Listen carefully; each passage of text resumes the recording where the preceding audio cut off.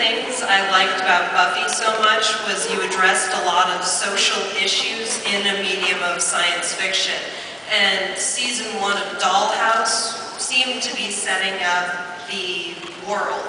But how are you going to incorporate issues of social justice further in this series? Well, as you can see from this last episode, everything turns out fine. it's just fun and games. What? Um, yes, yes. More and more, we're interested in, in dealing with the abuse of power and um, and the various ways that people can do that, and, and and what it will really bring out in our characters when they're pushed to the edge. Yes, those of us who follow your career often see familiar faces, and I'm just wondering if that has affected your creative process to where now sometimes the people you work with actually help inspire your creations rather than after you create, you then think of actors you worked with. Um, this is something I, I can't stress enough. The, the way I talked about the writer's room um, uh, is, you know, with being a round table, being a, a circle.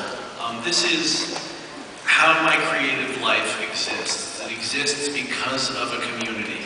Um, and everything I see from them informs everything I do. The show was created because I said, you know, I'm, I know Eliza can be sophisticated and funny and sexy and strange and different and kind and all these things that she's not going to get to play unless I get to play with her. Um, so, yeah. Um, you know, not just the writers, but absolutely other actors as well. Um, you know, we were at the Guild panel this morning. I thought of Dr. Horrible, and, and the, you know, Felicia singing in her little Christmas episode that made me want her to play Penny in Dr. Horrible. So um, I see things, and then and then the idea to have her in this episode uh, actually came from Sarah Fain. Um, when we, we had an actress who fell out, and she, we were like, we need someone we just absolutely know is reliable and wonderful and can get it done. And she's like, well, there is this redhead we wanted for Women's Murder Club. I'm like, yeah? Oh, right. so embarrassed that I hadn't thought of it. Um, I mean, this extends to other mediums as well. Um, you know, we were, we were doing Buffy, and on one day of shooting Spike in a flashback, we came up with the idea for Tales of the Vampires and Tales of the Slayers and all of that stuff. And the next day, we came up with an idea to do the Shakespeare readings, just because of all the different things we were seeing. And James's energy as an actor, and Doug Petrie's as a comic book fan.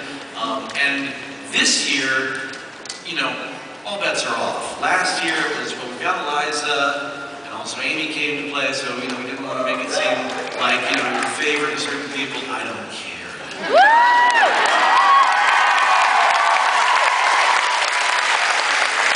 And, uh, um, uh, for example, I do believe that uh, we'll be seeing um, a few uh, episodes that involve a young ingenue named Alexis Denisof.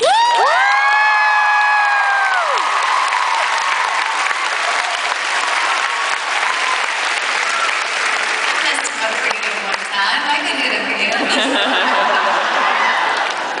Um, yeah, you will take a blade to it at one point, that's all I'm saying. um, uh, we might, uh, if, if the align, we might also see a, a little clown.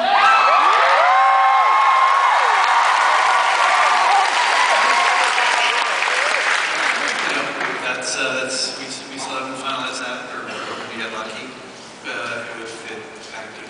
And, uh, um, but again, you know, not to go on and on, uh, we're also doing a lot to just sort of make the thing not just more, more of a fun house for us, but more for you guys, more the way we're filming. Um, our new DP uh, actually worked on this 13th episode um, as a camera woman, and she is sort of helping us create a new look and a new way to film that's going to be a lot more immediate, um, a lot less standard TV, and really throw the stories at us more viscerally. Um, we're going to see a lot of the directors we love. We're also going to see some new faces, and this is, again, an example of me being inspired by, uh, by people, uh, not just the writers. Uh, one of the new directors that we're going to have this year is someone I've collaborated with a lot, but not in this capacity. Uh, we're going to have one episode that's going to be directed by John Cassaday.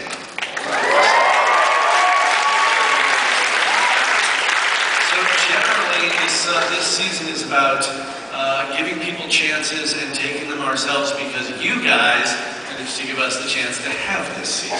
Thank you guys, absolutely.